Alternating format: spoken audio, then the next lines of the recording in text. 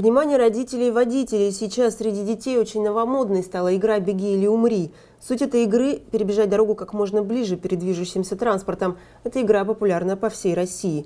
Такие сообщения в социальных сетях получили уже тысячи родителей по всей стране. Дошли они и до нашего региона. Пока, как сообщают различные ведомства, в Вологодской области жертв от этой игры не зарегистрировано. Но что на самом деле происходит и как реагировать, выясняла наша съемочная группа.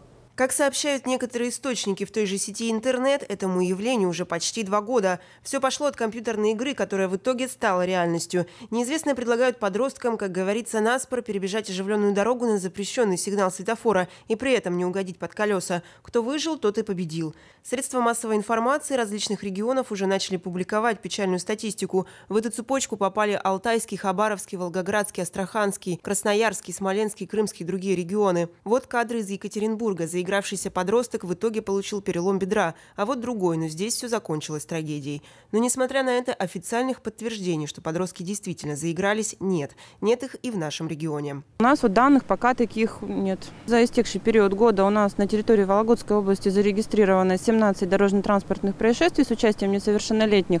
В данных происшествиях у нас один ребенок погиб и 22 получили травмы различной степени тяжести. Из них 17 происшествий, 17 пострадавших – это у нас пассажиры. Пассажиры все перевозились по правилам дорожного движения, то есть были пристегнуты ремнями безопасности, в автокреслах, детские удерживающие устройства. И в основном пассажиры у нас были в невиновных автомашинах. Пять детей были пешеходами, из них два были на пешеходном переходе. Одна девочка у нас перебегала проезжую часть вне пешеходного перехода в зоне его видимости, одна находилась у нас на обочине.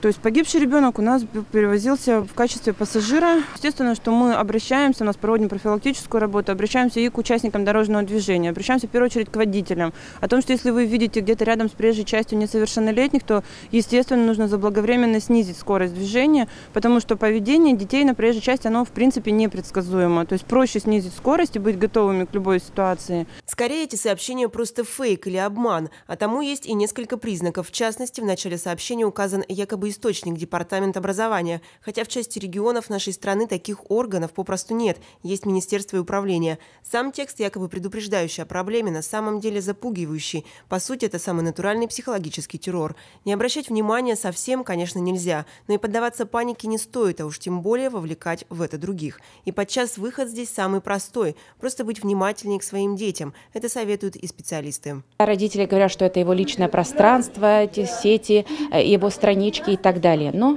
все сети зарегистрированы сегодня на родителей. И поэтому они несут ответственность за воспитание своего ребенка, за его жизнь и здоровье. Поэтому смотреть, что, чем увлекается ребенок, Безусловно, не только смотреть, но и разговаривать. Появилась сейчас и э, мода ходить в наушниках, когда ребенок не следит за тем, что происходит на дороге, а ступает на э, пешеходную зебру и в результате попадает под колеса. Водители, которые сегодня отвлекаются на мобильную связь и также выезжают на пешеходный переход, не обращая внимания на того, кто по нему идет.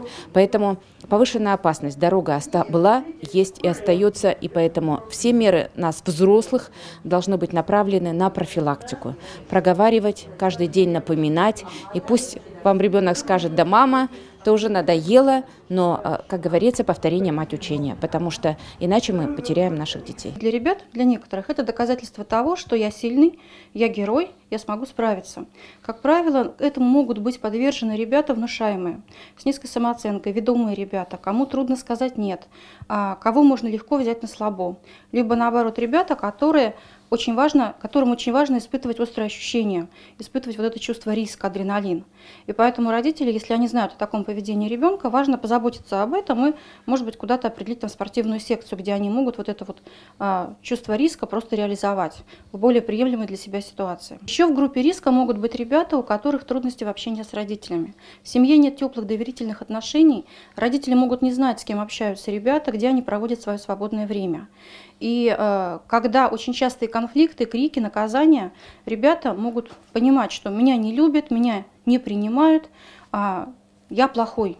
И иногда подростки говорят, вот я умру, и тогда посмотрю, как вы обо мне заплачете, как вы обо мне будете переживать. И вот такие рискованные ситуации как раз могут подталкивать их к тому, чтобы совершить какие-то необдуманные поступки. Поскольку средства массовой информации очень много стали про это говорить, то у родителей, конечно, возникает паника.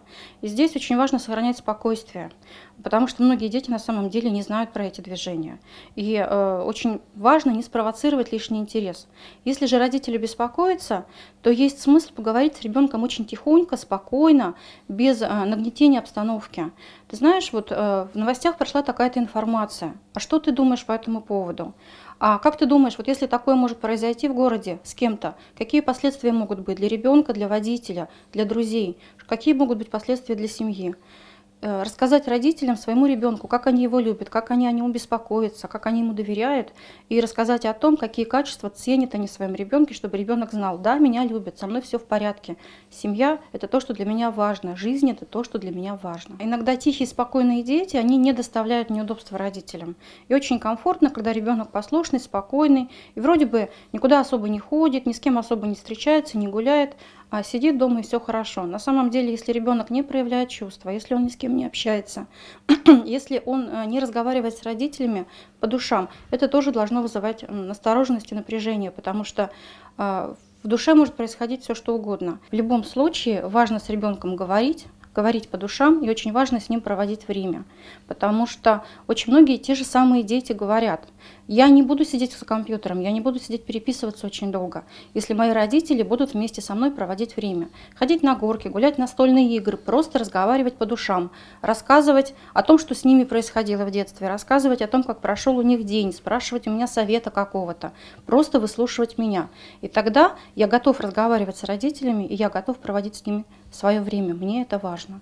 Поэтому если мы что-то запрещаем и ограничиваем, важно найти альтернативу этого свободного времени.